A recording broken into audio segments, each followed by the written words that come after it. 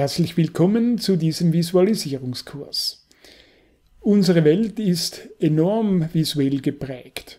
Täglich begegnest du Tausenden von Bildern.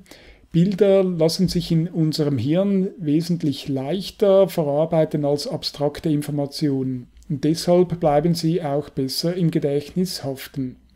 Wenn du also lernst, deine Gedanken visuell festzuhalten, so kannst du anderen Menschen helfen, dich besser zu verstehen.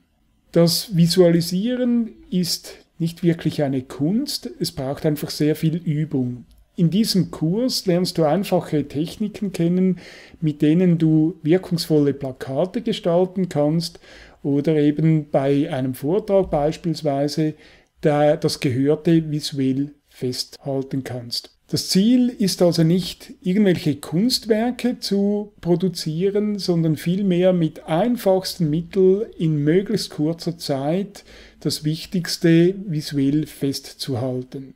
Ich habe viele Stunden investiert, bis ich mich genug sicher gefühlt habe.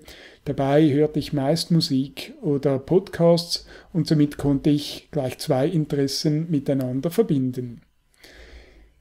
Jetzt aber ein Blick in den Aufbau des Kurses über das Inhaltsverzeichnis siehst du die verschiedenen Kapitel. Im Einleitungskapitel lernst du die Grundtechniken kennen, beispielsweise wie du auf einfache Weise Symbole oder Container zeichnen kannst. Dann lernst du Techniken kennen für die Plakatgestaltung, Tipps und Tricks, wie das Plakat wirkungsvoller aufbereitet werden kann und im dritten Kapitel geht es um Sketchnoting, also das visuelle Notieren. Über diese Pfeiltasten kannst du dich durch die verschiedenen Inhalte hindurchklicken. Ein Teilkapitel wird meist mit einem Video eingeführt. Übrigens auf dem Smartphone sieht es sehr ähnlich aus. Du kannst es also auf allen verschiedenen Geräten nutzen. Eine letzte Bemerkung zum Schluss. Alle diese Seiten dieses Kurses sind ja horizontal angeordnet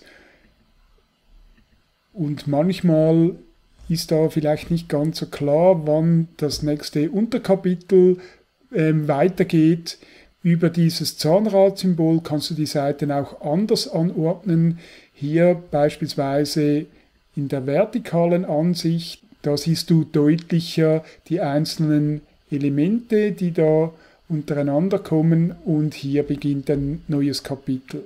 Ich persönlich mag aber natürlich die Standardansicht besser, weil hier immer schön die ganze Seite ausgefüllt ist. Ja, und damit ist eigentlich alles gesagt. Ich wünsche dir viel Spaß und natürlich auch viel Erfolg bei deinen Visualisierungen.